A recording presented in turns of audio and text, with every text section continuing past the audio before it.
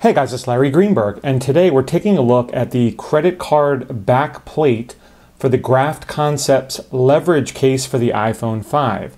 So hopefully you've already seen my review of the leverage case. I reviewed both the case for the iPhone 4 4S as well as the iPhone 5, and it's definitely one of my favorite cases. The iPhone 5 version is just improved upon the version for the iPhone 4.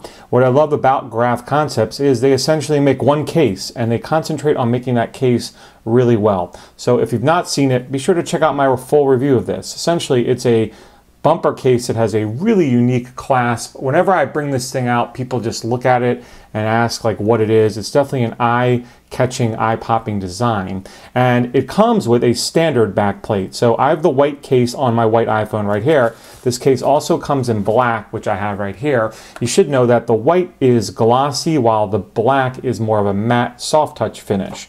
So I have it on my phone. It comes with the back plate and obviously the back plate is removable. So um, you can pull that back plate out and you can actually use this case just as, just as a bumper by just taking out the back plate and snapping it all together like that. So if you don't like a back plate at all, you can use it as a bumper. However, what Graft Concept is starting to do is introduce these additional back plates. So I have the credit card back plates right here.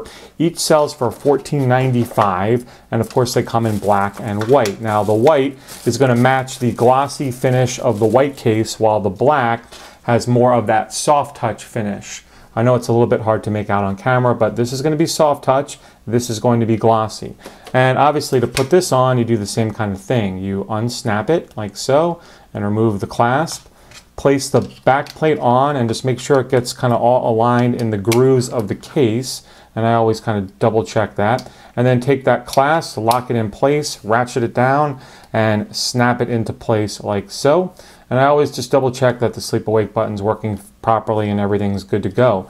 And there's how you install it. So it's that quick, you know, in a matter of seconds, you can go from bumper case to full body protective case with this in to full body protective case with the uh, added feature of having a wallet.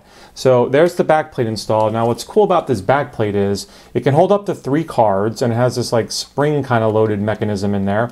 It can hold up to three cards, but it holds one card just as secure as it holds three. So you can see I put one card in there, I'm shaking, it's not coming out because it's got that little spring loading mechanism comes out just um, as easily as it goes in. You just use your thumb and you pull whatever cards you want to put in there right out. So up to three cards back in there. And again, it holds one just as well as it holds three, which is pretty cool. So this is definitely one of my favorite cases, guys. If you've not checked out the Graft Concepts leverage case, you need to do so. Uh, with these interchangeable back plates, it's really becoming like a modular design, you know, um, whether it's a bumper case or a full body case or a wallet case. And I'm sure more back plates will be coming soon from Graft Concepts. So that's been a brief look at the credit card back plate for the Graft Concepts leverage case. You can read my full review of this over on runaroundtech.com. Check out the photographs, etc. That link will be in the upper left-hand corner of this review as well as in the video description. If you want to learn more about it directly from Graft Concepts, the link to their website will also be down below in the video description.